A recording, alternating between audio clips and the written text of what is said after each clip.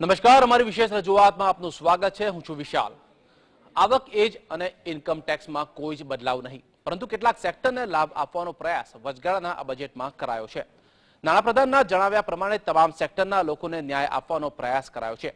ફુગાવો કાબુમાં રાખવો અને વિકાસ દર જાળવી રાખવો જેવા બે મહત્વના પાસાઓને કેન્દ્ર સ્થાને રાખીને લેખાનુદાન રજૂ કરાયું.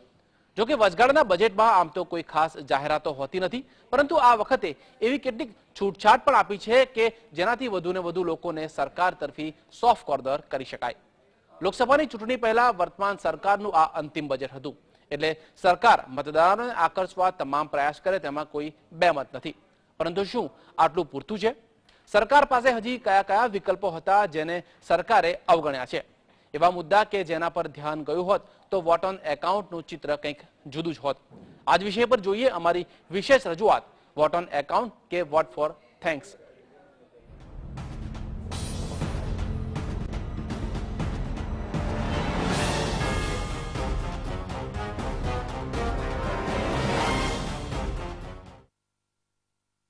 સમગ્ર મુદ્દે ચર્ચા કરવા એક્સપર્ટ આપણી સાથે જીએસટીમાં જોડાયા છે. સૌપ્રથમ સુનિલભાઈ શાહ છે રૂઝાન ખંભાતા. સુનિલભાઈ પારેખ અને પ્રદીપ જૈન, આપ ચારેનું જીએસટીમાં સ્વાગત છે. સુનિલભાઈ શાહ સૌપ્રથમ તમને પૂછવા માંગી છે. બજેટની જો વાત કરીએ તો આખો દિવસ બજેટની ચર્ચા ચાલી છે, પરંતુ તમને સ્પેસિફિક ક્વેશ્ચન એ તમને કરવા માંગીશ કે તમને શું લાગ્યું? આ બજેટ કેવું લાગ્યું?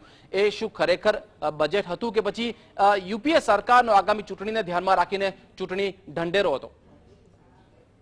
મારું એવું માનવું છે કે આપ જે પ્રશ્ન પૂછી રહ્યા છો એની અંદર જ જવાબ છે. એટલે કે બે હજાર ચૌદની જે ચૂંટણી આવી રહી છે, તેને ધ્યાનમાં રાખીને અત્યારે જે આપે બહુ સાચો શબ્દ વાપર્યો કે આ બજેટ નથી પણ આ એક લેખાનું દાન છે, એટલે કે વોટ ઓન એકાઉન્ટ છે. અને એ સામાન્ય રીતે જ્યારે સરકાર પૂરી થતી હોય અને ચાર પાંચ મહિનાનો સમયગાળો હોય અને બીજી સરકારની ગઠન થાય તે પહેલાં એમણે એક વ્યવસ્થા ઊભી કરવી હોય, એના માટેની એક આ રચના છે. હું માનું છું કે એ રચનાનો એમણે પૂરેપૂરો લાભ લીધો પણ નથી કદાચ. ચૂંટણી ઢંઢેરો પણ ટ્રુ સેન્સમાં નથી અને નથી ટ્રુ સેન્સમાં એને એક બજેટ અથવા તો કોઈ એવું કહી શકાય કે જેનાથી આપણે સસ્ટેનેબિલિટી ઇન્ક્લુઝિવનેસ અથવા તો ગ્રોથ અથવા તો બીજું કંઈ પણ શબ્દો એની અંદર ઉમેરવા હોય એ ઉમેરી નહીં શકાય એવા પ્રકારનું એક આ લેખાનું દાન છે. બે ત્રણ કારણો મને લાગે છે આની અંદર કે ખાસ કરીને જે ધ્યાનમાં લેવા જોઈતા હતા પરંતુ કદાચ એમને આ ચૂંટણી કદાચ નડી ગઈ હશે ને એના લીધે એમણે એ બે ત્રણ કારણો જવા દીધા છે. એક બહુ મોટું ફેક્ટર મને એવું લાગે છે કે મેન્યુફેક્ચરિંગની અંદર એક થ્રસ્ટ આપવાની જરૂર હતી ક્યાંય કદી દેખાતું નથી.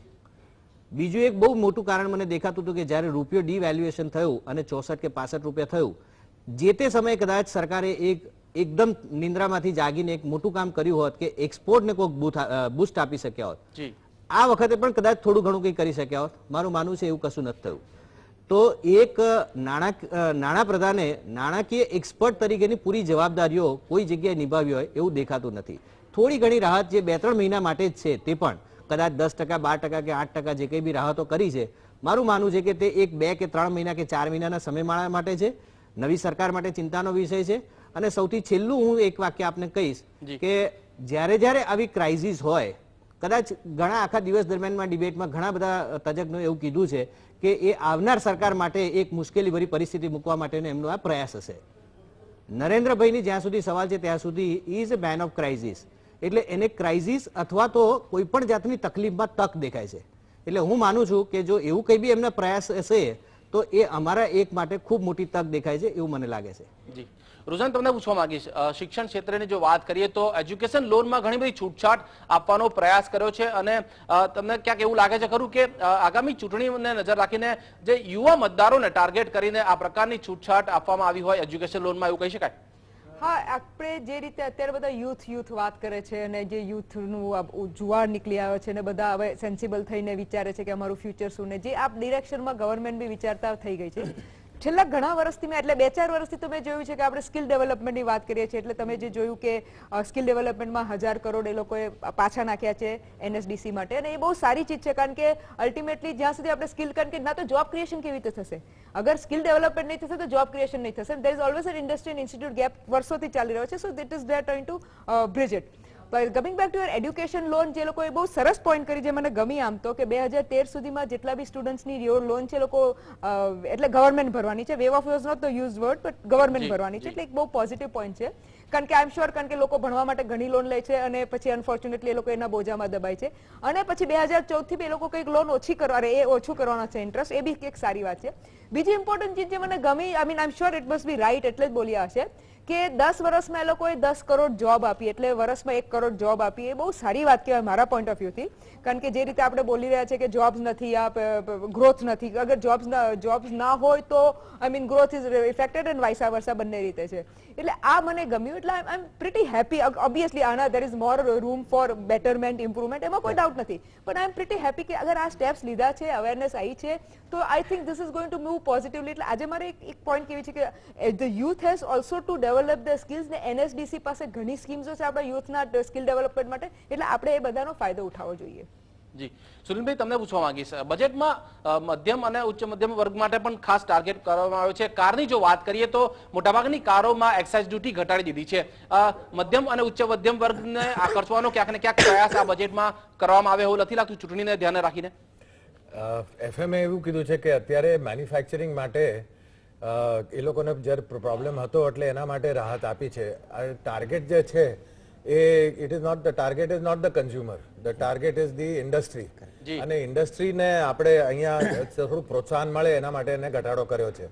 પણ આમાં મને તો ફેલેસી લાગે છે કારણ કે તમે ચાલીસ લાખની કે ત્રીસ લાખની ગાડી હોય કે વીસ લાખની ગાડી હોય એમાં તમે બે કે ચાર ટકા જો તમે એને ભાવ ઘટાડો તો એનેથી માણસ લેવાની તૈયારી નથી થતી. મોસ્ટ ઇમ્પોર્ટન્ટ આસ્પેક્ટ જે છે કે જે વોલ્યુમ સેલ્સ જો લાવવા હોય તો આપણે જે એમાં જોઈએ છે એ ઈએમઆઈ છે. અને ઈએમઆઈ માટે ઇન્ટરેસ્ટ રેટનો દર છે that is the critical element કે કેટલું પોસાય છે અત્યારે. ટુ વ્હીલર હોય થ્રી વ્હીલર હોય ફોર ફોર વ્હીલર હોય વોલ્યુમ માર્કેટ જે છે એ બધા લોન લઈ અને આગળ જાય છે. એટલે એ રીતે જે કરે છે એ માટે મને એમ નથી લાગતું કે આ નેક્સ્ટ થ્રી ટુ ફોર મંથમાં એની કાંઈ એની સારી અસર થાય. જી. પ્રદીપભાઈ તમને પૂછવા માંગે આઈટી સ્લેબની જો વાત કરીએ તો ઘણા લોકોને આશા હતી કે આ વખતે આઈટી સ્લેબમાં કંઈક રાહત મળશે, પરંતુ એવું કંઈ થયું નથી. આઈટી સ્લેબમાં ઘટાડાની જે આશા હતી વધારાની એવું કોઈ ઠગારી નીવડી છે આશા?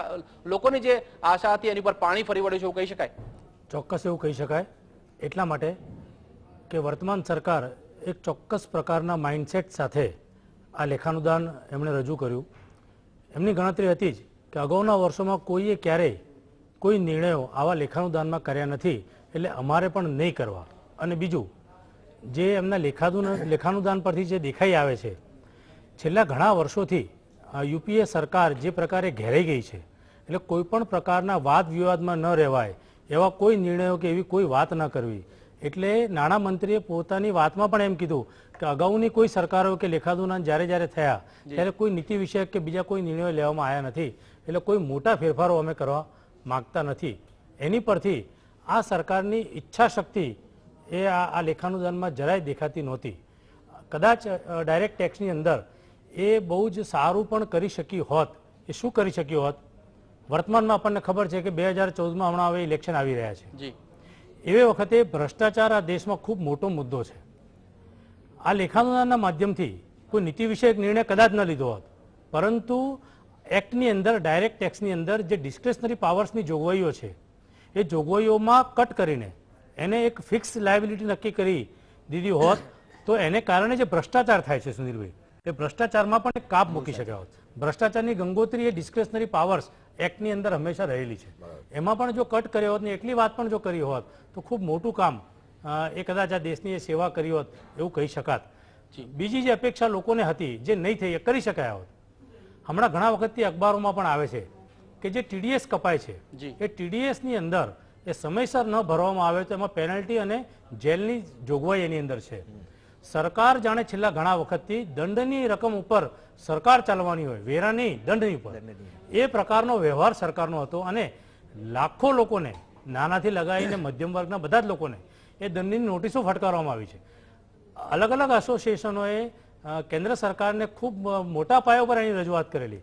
કદાચ સંભાવના હતી કે એક્ટની અંદર એક નાનકડો પણ ચેન્જ કરીને એને જો કરી શક્યા હોત તો એ એમની ઈચ્છા શક્તિ દર્શાવ્યો અને આ કારણે એ કદાચ ખૂબ સારું એક ચિત્ર દેખાયું હતું એવું જરૂરથી લાગે છે. ચોક્કસથી. આ સમગ્ર મુદ્દે ચર્ચાનો દોર આપણે આગળ પણ યથાવત રાખીશું. એક્સપર્ટ હજી જીએસટી સાથે જોડાયેલા છે. સમય થયો છે એક બ્રેકનો લઈએ એક બ્રેક